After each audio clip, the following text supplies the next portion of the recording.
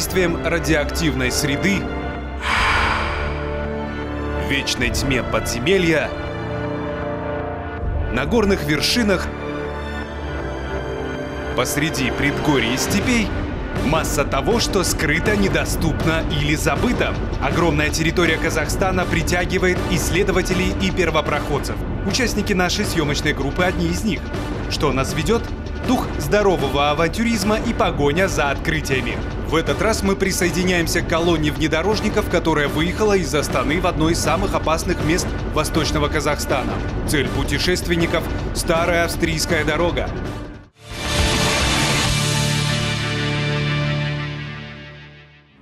Они едут на штурм вековой дороги, проложенной австрийскими пленами во времена Первой мировой войны.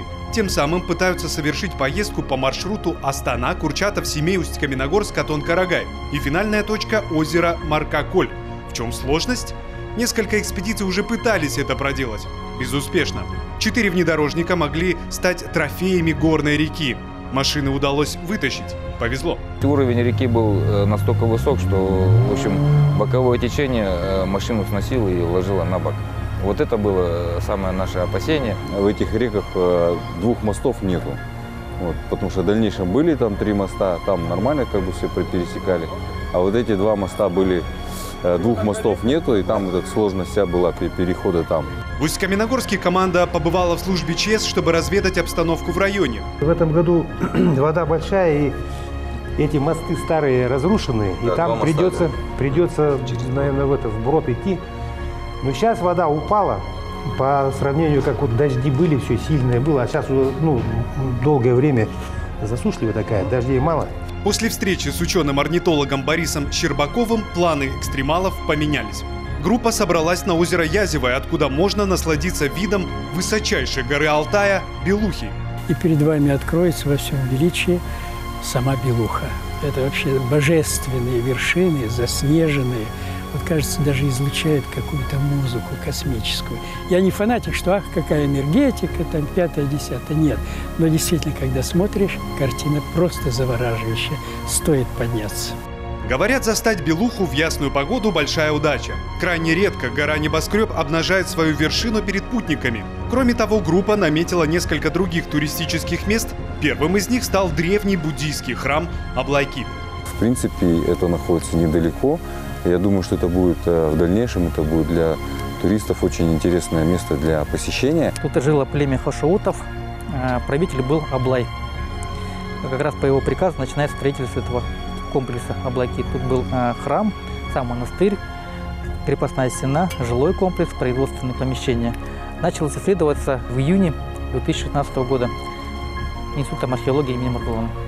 Первоначально Аблайкит был зданием пятиугольной формы с высотой стен 3-5 метров, толщиной 3 метра. Состоял из трех зданий – высокого храма из белого кирпича, дома лам с деревянным вторым этажом и небольшой хозяйственной постройки. Наша самая главная и ценная находка – это берестяные рукописи.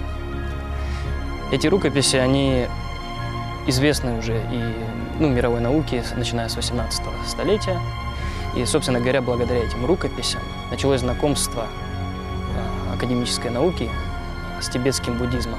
Рукописей на бересте найдено немного. Археологи считают, все самое ценное из храма растащено давно. Возможно, именно в то время рядом с памятником обронили эти необычные находки. Есть еще другие интересные находки, конечно же. Это бронзовые и железные наконечники стрел. Есть э, свинцовая пуля и формочка, для, в которой эти пули выливали. Не являлись ли тогда буддисты пацифистами? И зачем мирным монахам оружие? В 1671 году Аблай Тайша уже в ходе междуусобных распри потерпел поражение и был вынужден откочевать в Южное Приуралье, после чего, видимо, этот монастырь он приходит в запустение, оставшись без покровителя. Ну, наверное, мы полагаем, что монахи жили здесь еще до начала 18 столетия, а уже когда в 20-е годы пришли первые русские экспедиции, в том числе экспедиция Лихарева, которая основала город Усть-Каменогорск, они уже заставили э, опустевший совершенно храм, разбросанные везде рукописи, реликвии, э, бронзовые статуэтки. Удивительно, ученым удается обнаружить место стоянки военно-исследовательской экспедиции. Были найдены пули, э, медный крестик, э, три монеты были найдены. И четко датируются как раз э, по письменным источникам и археологические источники четко совпадают. Они, получается, детальную съемку производят этого памятника. Здесь они какое-то время стоят, зарисовки происходят, сбор, получается, здесь находилась библиотека, сбор в библиотеке производят они тут. Так на бумаге было, на бересте было. Это, получается, было все собрано и отправлено в Петербург.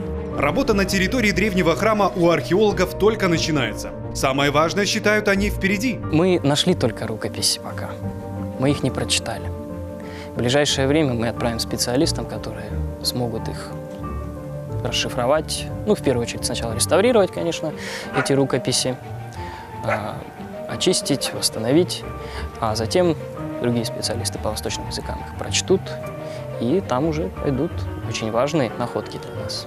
Все как в нашей экспедиции. Мы в начале пути отправляемся дальше. Ближайший пункт назначения – Катон-Карагай.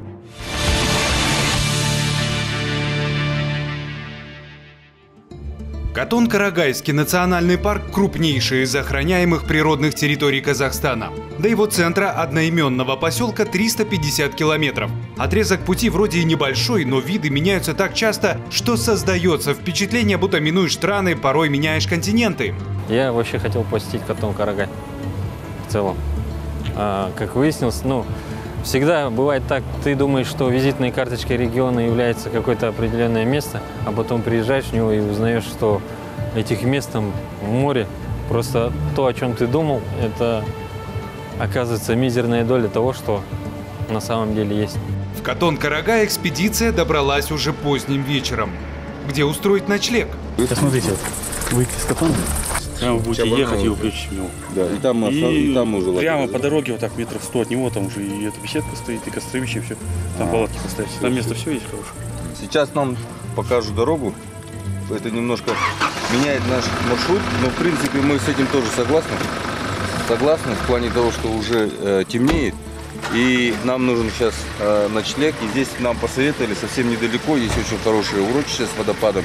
Обустроено, именно обустроено парком, э, Катон-Карагайским парком.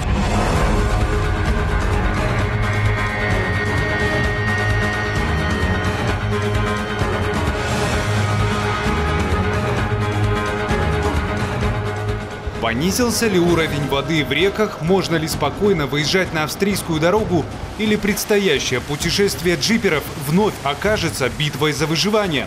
Завтра они получат ответы. Ежегодно Катон-Карагайский национальный парк посещают тысячи туристов. Они приходят сюда увидеть, победить, это если говорить о восхождении на Белуху, и не только, еще и узнать. Ведь здесь расположен и ярчайший памятник истории Берельские курганы. Для того, чтобы обеспечить безопасность гостей, ситуация в районе здесь мониторится ежедневно. Вы, наверное, доедете у нас до озера Изёва. Как раз вот, э, вот здесь а, находится на границе с Российской Федерацией наиболее посещаемый маршрут Катон-Карагайского национального парка. Отсюда хорошо видно город. Это самая высокая точка Алтая Сибири. Высота 4506. Итак, джиперы покидают Катон-Карагай. На навигаторах внедорожников отмечено озеро Язевое, следующая цель путешественников. Проехав чуть более половины пути, автоколонна сворачивает с основной дороги, чтобы посетить Берельские курганы. Надо отметить, сезон археологических раскопок в долине царей завершен, но еще несколько часов назад ученых можно было здесь застать. На Медне прошло долгожданное открытие уникального музея под открытым небом. Большая удача, что мы становимся одними из первых его посетителей. Под стеклянным куполом площадью 90 квадратных метров мы спускаемся буквально в загробный мир. Внизу на глубине 9 метров погребение, которое называют курган номер два. Гирейские курганы, само место, это ущелье, да, капсула, тоже очень интересное место. Нужно, мне кажется, тем, кто интересуется историей, побывать, посетить, соприкоснуться с этим местом.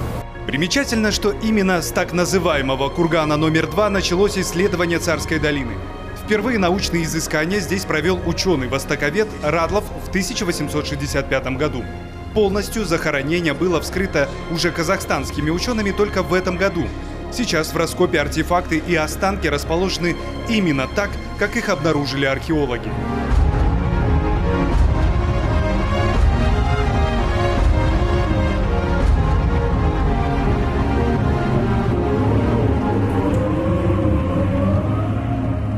У озера туристов не видно. Сезон окончен. На берегу лишь местный житель. Он ждет клёва главного обитателя водоема – Язя. Судя по всему, отсюда и название озера. Правда, здесь его принято называть не Язевое, а Езевое. Участники экспедиции оказались тут не просто так. Каждый из них надеется сегодня увидеть капризную белуху. Утром был очень-очень густой туман а, на рассвете. И где-то к часам, а, где-то к часам а, к восьми этот весь туман рассеялся, и на, на наших глазах это такой очень э, эффект произвело. Когда мы увидели сперва озеро начало открываться, потом от, начало, открылось э, подножие горы Белуха, и потом сама Белуха. Белуху очень сложно застать в ясную погоду, что здесь очень часто туманы, и редко когда удается увидеть полностью белуху без каких-то помех. И нам сегодня повезло.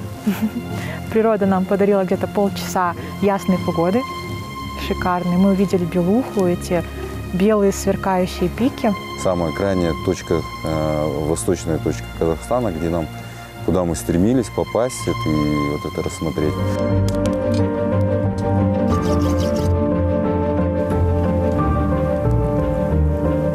Хотите называть это жертвоприношением, хотите нет, но в этом регионе под Святой Белухой все приобретает сакральный смысл. Вот и путешественники надеются, что духи снизойдут к ним, и их путешествие по староавстрийской дороге все-таки состоится. И этому они хотят посвятить приготовление блюда по древнемонгольскому рецепту, который называется хорхок. Давайте посмотрим.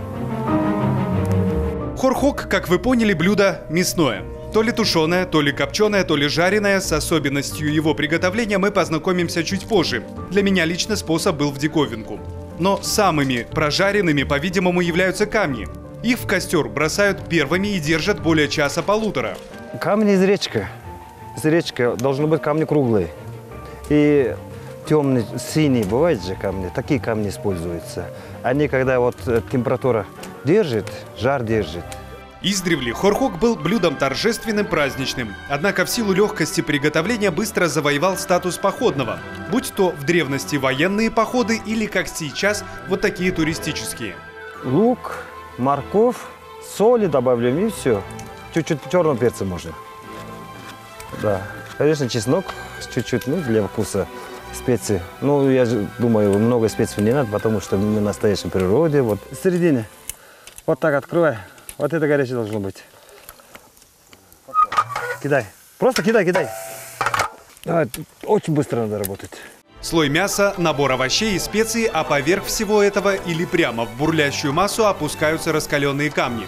Крышка фляги наглухо закрывается, но ненадолго. Только пар спуская иначе рванет. Принцип скороварки.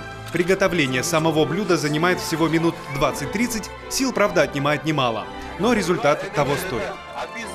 В следующих выпусках вы узнаете, что ищут зарубежные кинематографисты в Восточном Казахстане, как действовать, если машина застряла в бурлящей реке. Австрийская дорога наносит по путешественникам первый удар. Можно ли двигаться дальше?